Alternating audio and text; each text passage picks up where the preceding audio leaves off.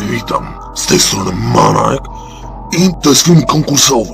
Zbliżają się święta, czas radości, czas rozdawania prezentów, spędzania czasu z rodziną.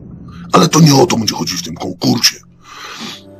Wczoraj pojawił się pierwszy z serii konkursów, które mm, będą się pojawić na moim kanale. Tamten konkurs był dla osób będących ze mną na Facebooku, dlatego też poniżej zobaczycie teraz link do tego Facebooka.